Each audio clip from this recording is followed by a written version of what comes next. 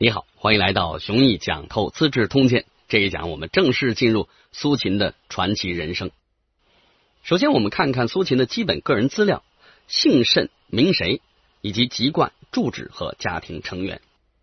根据先秦时代的称谓模式，我们首先就能肯定的是，苏秦一定不姓苏。苏原本是个地名，在分封的过程当中，有一支姓纪的贵族被封到苏地。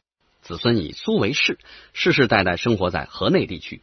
这个河内当然不是越南首都河内，而是指黄河中游的北岸地带。河内所谓内，是以商朝王畿为标准的。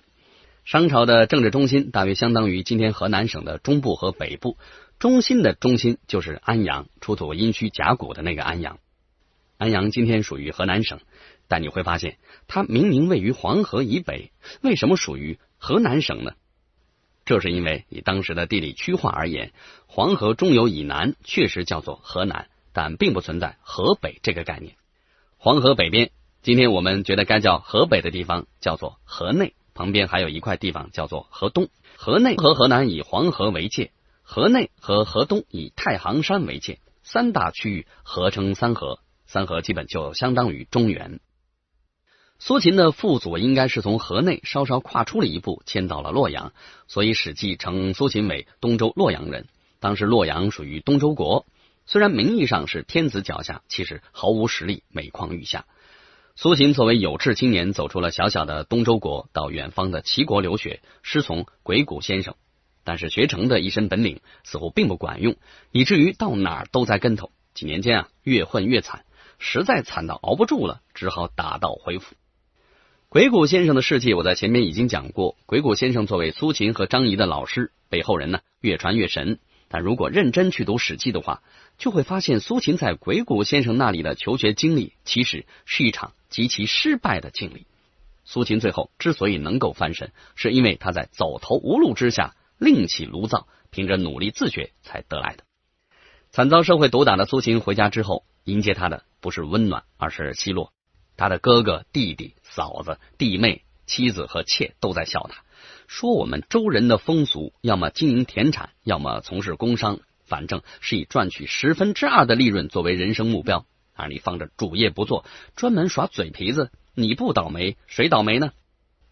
这段内容透露给我们几个细节：一是苏秦的同辈家庭成员很多；二是不仅苏家人，乃至整个东周国工商业相当发达。三是当地无论农业还是工商业，理想状态下的利润率都是百分之二十。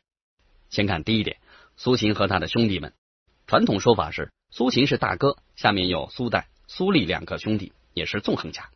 乔州考证，苏家应该还有苏辟、苏虎两个不太知名的兄弟，五兄弟全是纵横家。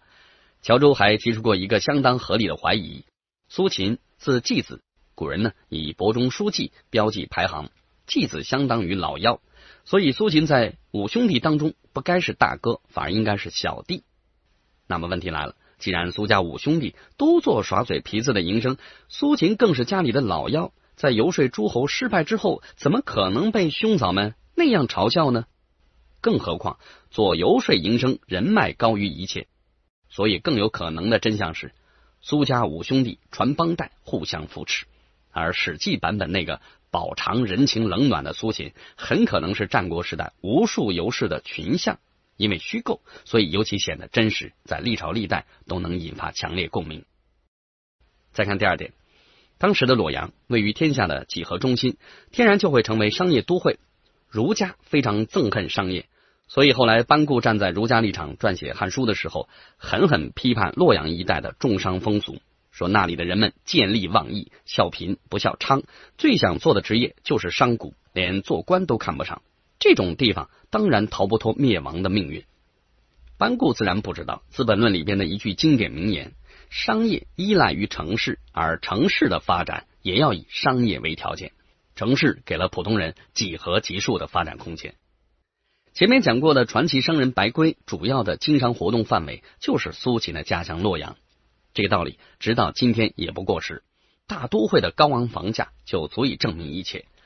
外来人口来一线城市买房，买的不是房子本身，而是一个有着无限打拼前景的竞技场的入场券。再看第三点，当地无论农业还是工商业，理想状态下的利润率都是百分之二十。如果用古典经济学来做解释，这就意味着当地的自由市场已经达到了充分竞争的阶段。不管你做哪一行，赚的钱呢都差不多。古代社会谈到利润率的时候，一般不是指销售利润率，而是指资本利润率，也就是全年利润额占资本额的比例。史记有一篇《货殖列传》，专门描述整个社会的商业情况，给我们提供的数据信息是：商业利率和资本利润率都是百分之二十。这个现象特别适合拿古典经济学来做解释。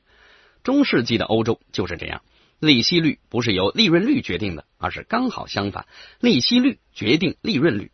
也就是说，放贷人啊定了多高的利率，借款的工商业主就只能根据这个利率来确定自己的利润率。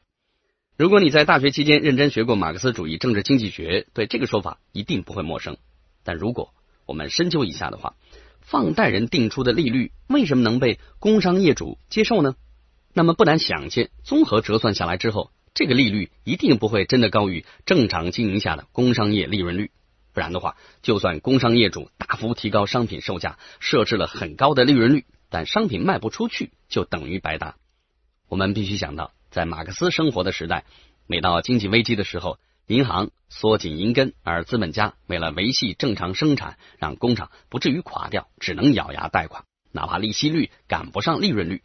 资本家之所以狠得下这个心，就是因为银行贷款并不会占到生产资金的全部，所以只要银行不通过利息率把资本家创造的利润全部拿走，那么就算利息率高于利润率，资本家也还能撑得住。